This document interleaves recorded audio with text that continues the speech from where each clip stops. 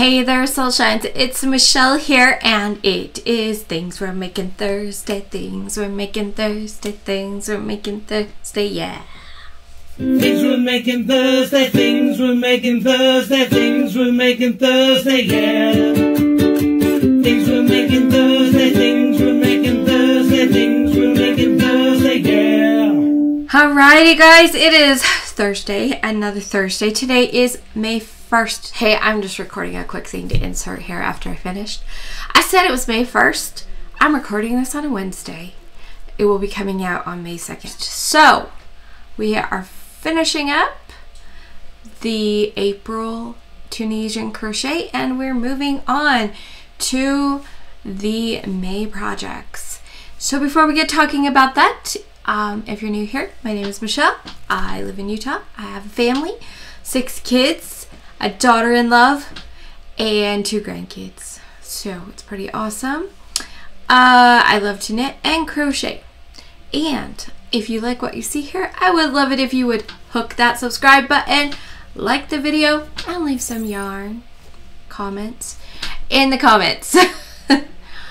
um, so, just to be official and say I did something in Tunisian crochet, yesterday and today I whipped up official leaf projects. So here's my leaf. Okay. That's one of them. Um, this one I was figuring out on my last video. So I'll link that up here, right above Millie. Um, I will link that up there so you can go check out what I did. And then um, the original that I followed for how to do it is in the description. So that's one that I'm putting with my rose to hook into my centerpiece if I ever get anywhere with it. Let's hope I do. Um, I'm starting to get some of my um, making energy back and stuff, so that's exciting. And then I did, this morning, I tried out the other kind of leaf. So this is the other one. It's very fascinating how this yarn has the different textures shows up in this, but there's that one. I really like this one actually. I I didn't think I would, but because of the way the yarn is, it just adds extra fun dimension to have the two combinations like that. The combination of the stitch pattern with the um, yarn pattern.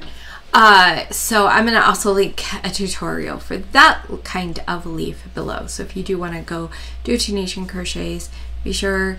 Oh, I'll also link my a link to last week's um, things we're making Thursday video, so you guys can go check that out too. If you are interested in how I did this because I did it slightly different than she showed, and um, I talk about that in the last video. It kind of it was a not quite a tutorial, almost a tutorial last week. All right, so I'm just gonna put these here next to me in case I, I changed up my background. I wanted my plants. I love my plants. I wanted my plants over. I don't know if I can show you. So I have this one that's got a beautiful sprout out there. I've got two up here um, that have all of the yummy goodness going around in them and it's awesome. So I did move things over. Got started moving, going through my books. I have a pack stack of stuff I skipped because the bottom shelf is pretty much empty right now because gotta work on that. But that's not about things for my kid Thursday. So, um, I went, had my daughter go down and I was just like, go bring up something that's 100% cotton a, that I can make a dishcloth of. And I'm like, bring two or three.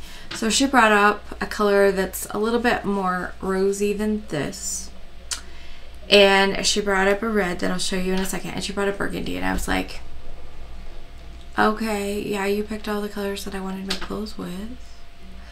Um, I don't know if I have enough to make clothes with them but I'm gonna keep them around just in case. So um, I took the red one. So this is Hobbii um, rainbow cotton it is a size one weight cotton 100% cotton these are 50 grams I believe Yep, 50 grams.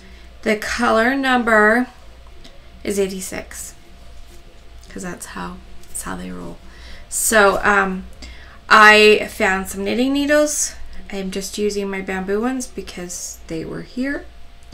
And I started a dishcloth. I'm using fat needles. I want it to kind of be loose because I'm just playing around with what I like for a dishcloth. Will I like this? I don't know until it's made. Um, one of my problems is I like, I think it's partly what I was raised on. My mom used to get these disposable cloth things that she would use over and over until they'd fall apart. That's what she used for dishcloths. Um, I've seen them, so I know they're still available. And that's what she used, and they're very thin. Um, so that's what I grew up on. And I prefer like um some thin stuff. However, I have made some knit some dishcloths with the um, regular kitchen cotton stuff, and those were okay because they're knit. Um, they had a little bit of give with them and things like that, so I didn't mind them. So I'm trying out with the one weight yarn to see if I'm going to like it. But I only cast it on a few and did like a few rows just before I come in here to record it to say I started my dishcloth. this month for May, oh it's still got the little tag that Hobbii has. I love these. It's a center pull tab. I think all yarn should have those on them. That's just my opinion and I'm sticking to it. Um, so yeah, I'm gonna make this, see if I like it. If I like it, I'll do some more. So I thought I would hurry and cast that on. I don't even know what size these are. Probably like four millimeter or something. Five millimeter. So I'm using five millimeter knitting needles with a wet weight yarn. So it's gonna be very loose and so we'll see how that goes. And then I have some two weight yarn I might try as well, two weight cotton, just to see if having a thinner cotton will be more appealing to me. We'll see. Anyway, is that everything? I don't know if that's everything. I guess it is. Um, remember, oh, remember, okay, first of all, I do have some more things to say. I knew I did. Down below, you will find, like I said, the links to this.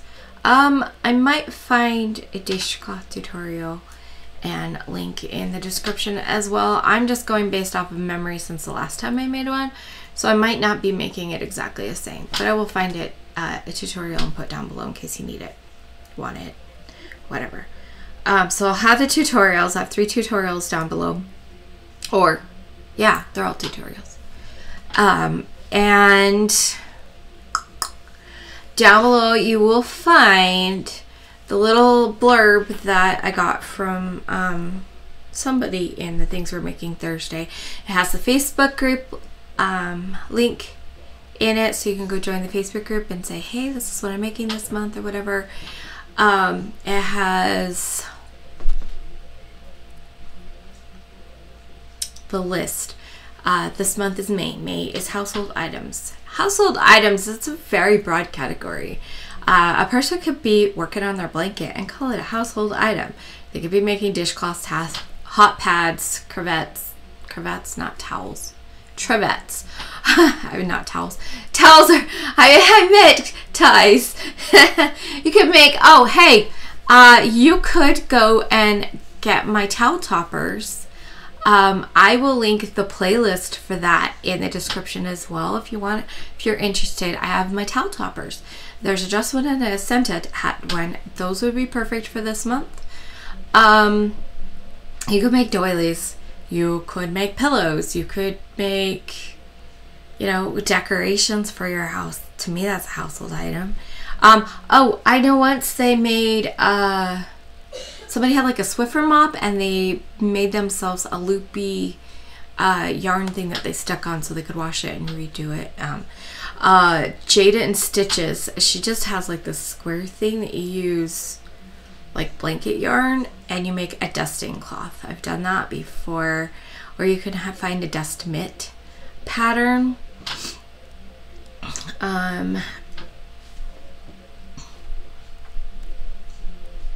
you could do hanger decor, you know, like how they used to put things around the hangers. I know some people still do that with plastic. I know it's not easy to find the metal ones, but the metal ones, we used to do the like macrame um, hanger things with the little pom poms. Best childhood memories, you know.